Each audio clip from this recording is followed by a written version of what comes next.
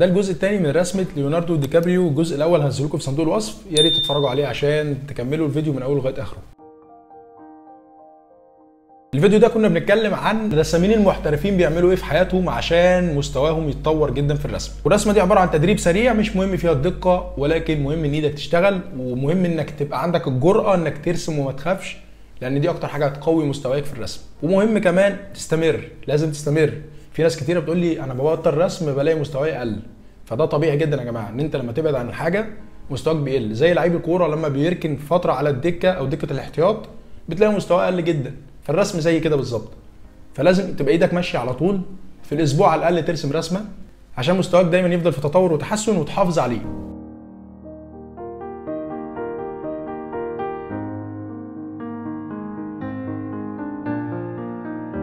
حاول دايما التدريبات اللي بتعملها مع نفسك عشان مستواك يتطور تعملها بقلم واحد بس. لأن قلم واحد بس لما تدرج منه كذا درجة ده هيخليك محترف جدا في التظليل وهيخليك تعرف تمسك أي قلم ترسم بيه رسمة جميلة جدا. وإنك تطلع من قلم واحد كذا درجة ده في حد ذاته حاجة جامدة جدا وهتخلي مستواك عالي.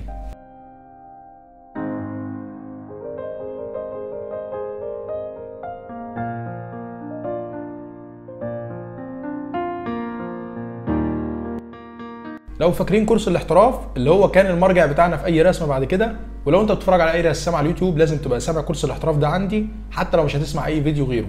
الفيديو مهم جدا لأنه فيه مفاتيح الرسم وفيه إزاي تبدأ في الرسم وفيه كل أساسيات الرسم كمان لأي مبتدئ أو أي حد لسه هيخش مجال الرسم وللمحترفين كمان.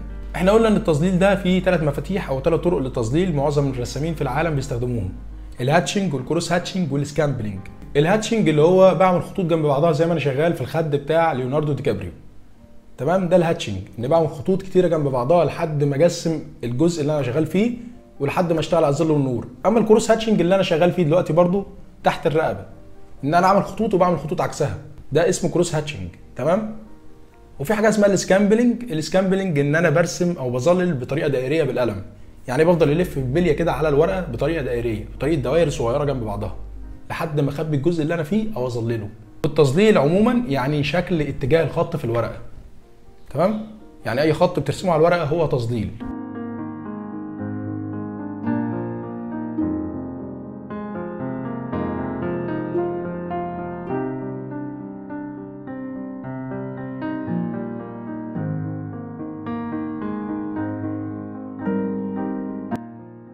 حاولوا تمرنوا ايديكم على التمرين ده والشاطر جدا اللي يعرف يعمله. هو بسيط. ممكن تجيبوا أي صورة تخططوا فيها زي ما أنا شغال دلوقتي. الرسمة دي زي ما قلت لكم في أول جزء إن هي مش واو واحتراف يعني وحاجة جامدة جدا. ولكن بتظبط إيدك في النسب والأبعاد وتخليك جريء جدا على الورقة.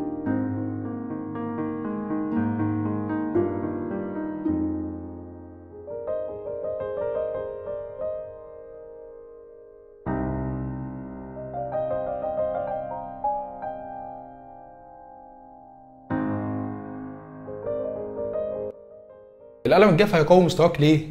عشان هو قلم واحد بتطلع منه كذا درجة وكمان الغلطة منه بفورة. يعني الغلطة ما ينفعش تصلحها. فدي من مميزات القلم الجاف إن بتخليك قوي جدا في الرسم وبتخليك ترسم وما تخافش ويبقى عندك جرأة. فلما تمسك قلم رصاص وترسم بيه تبقى جامد قوي في الرسم. القلم الجاف هو من أصعب الخامات في الرسم على مستوى العالم. يعني الألوان الزيت ممكن تصلح فيها. القلم الرصاص والفحم ليهم برضو تصحيح أخطاء. ممكن تمسح الغلط بتاعك بالممحاة أو الأستيكة. كل خامة ليها حل ولكن القلم الجاف هو الوحيد اللي ملوش حل.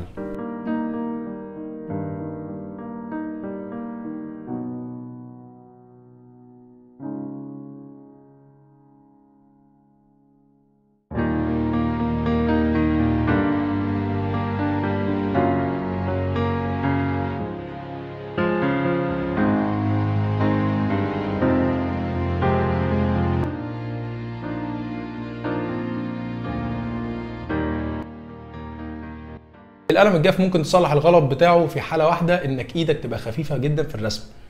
فهو بيدرب إيدك على خفة اليد في الرسم وبيدرب إيدك على التظليل بسهولة جدا.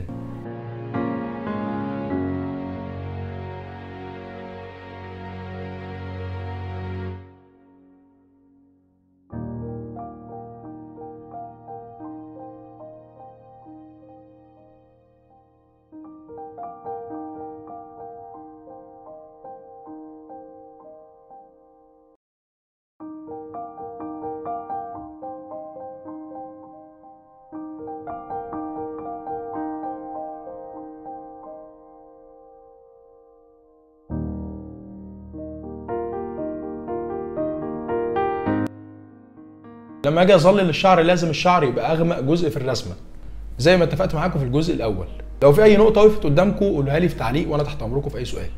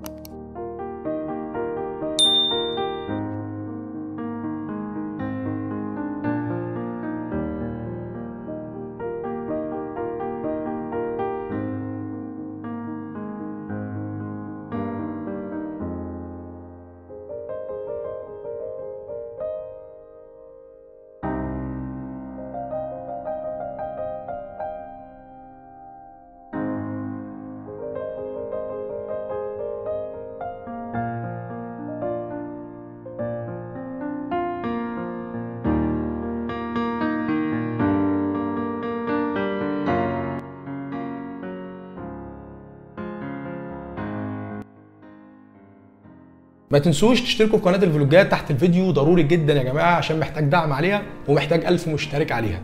عشان أبدأ أنزل عليها فيديوهات جميلة جدا وأوريكم أنا بعمل إيه في يومي الطبيعي أو ببدأ إزاي يومي وأنا شغال في إيه وأحكي لكم حاجات كتير عن حياتي وبدأت إزاي في الرسم واليوتيوب وكل حاجة. فاشتركوا في قناة الفلوجات حالا تحت الفيديو وما تنسوش تعملوا لايك للفيديو ده ودعم الفيديوهات بتاعتي عشان أستمر.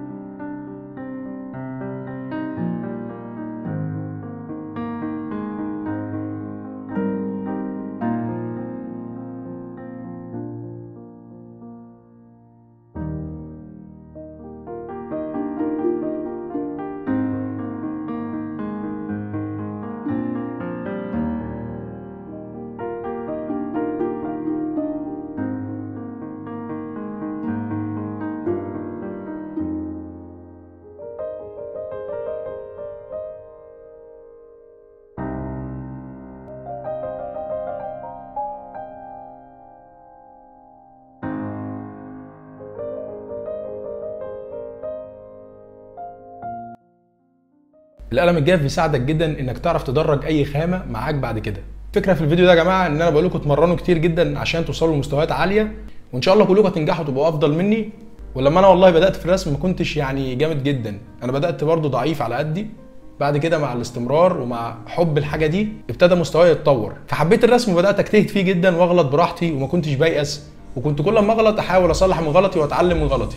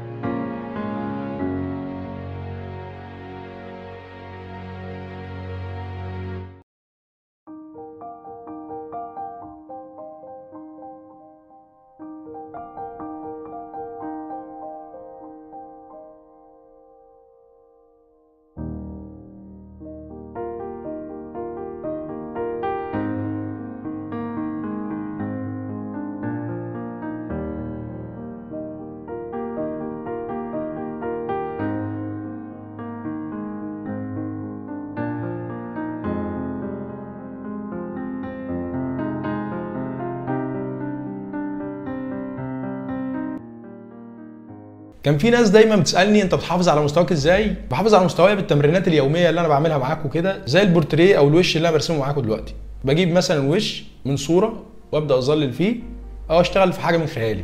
ولكن الأهم ان أرسم مثلا في الأسبوع مرتين أو أرسم وأنا في وقت فاضي يعني ما اضيعش وقت كتير. لو عايز مستواي يتطور لازم أفضل شغال على طول وأي رسام هتشوفوه أو أي حد جامد جدا في أي موهبة أكيد اشتغل على نفسه كتير جدا وأكيد قابل إحباط وأكيد يعني حاول كتير لحد ما نجح. مفيش حد فينا ابتدى محترف. فعايزكم تشتغلوا وتنجحوا وما تسمعوش لأي إحباط في حياتكم. يعني أي حد يحبطكم عندوه وينجحوا أكتر.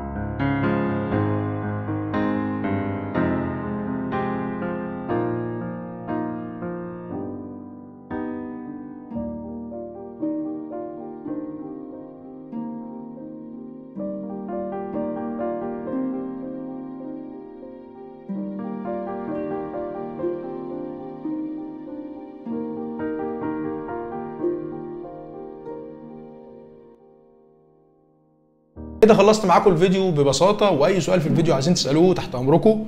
ما تنسوش الاشتراك في قناة الفلوجات حالا دلوقتي واعملوا لايك واشتركوا في القناة لو أنت مش مشترك في القناة إن شاء الله هتعجبك. أشوفكم فيديو جديد تكونوا كلكم في أحسن حال يا رب. والسلام عليكم ورحمة الله وبركاته. يا أجمد فنانين في الدنيا.